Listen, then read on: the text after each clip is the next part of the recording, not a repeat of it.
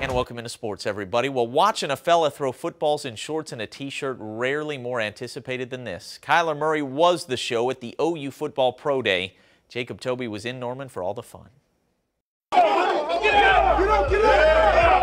OU's Pro Day, or you could call it Kyler Murray's Day.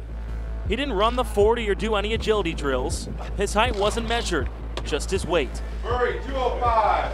Over 100 media members were credentialed for the event, and with so many people in the room, when Murray threw, the echo rang true.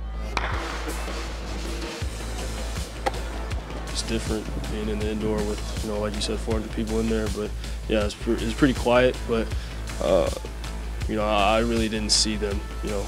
Murray went 61 of 67 with one drop on his passes. Both him and Lincoln Riley impressed with the performance.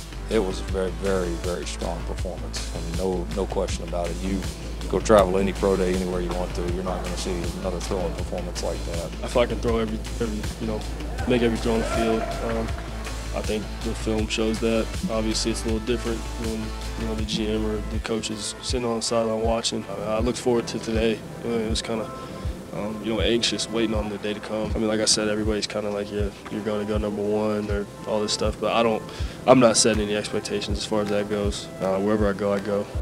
In Norman, Jacob Toby, two works for you.